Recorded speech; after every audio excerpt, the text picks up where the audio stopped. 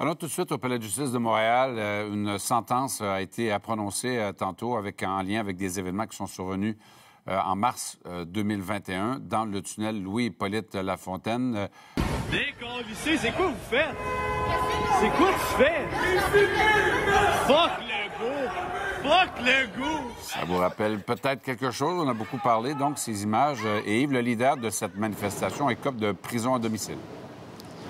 Absolument. Le chef de file anti-mesures sanitaires du défunt groupe Les Farfadas, je parle ici de Mario Roy, qui a copé de 10 mois de prison à domicile. On parle d'une peine avec sursis, Michel, donc 10 mois à domicile, dans des conditions strictes, évidemment, et vous l'avez vu au cours des dernières secondes.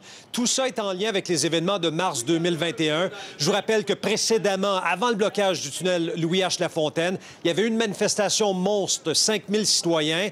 Certains membres des Farfadas estimaient que les policiers avaient été brusques à l'égard des manifestants, d'où ce blocage à deux reprises du tunnel Louis H. Lafontaine. Et ce que le juge Gagné ce matin a dit, il a dit, écoute, je vais envoyer euh, euh, M. Roy à domicile en prison parce que je ne veux pas le précariser davantage. Je veux faire entendre des réactions. Pourquoi moi, je suis visé pour le tunnel alors qu'il y a des personnes qui ont bloqué le pont Jacques-Cartier avant moi? Puis là, bien, ça a été prouvé que c'était encore pire le faire.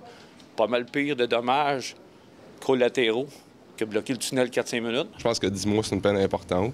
Euh, je pense qu'à partir du moment que je pense que le message important à comprendre et à lancer, c'est vraiment le fait qu'il y a des conséquences importantes qui peuvent survenir selon les gestes qui sont commis, les actions qu'on pose. Donc, je pense que c'est vraiment ça qui est important à retenir aujourd'hui.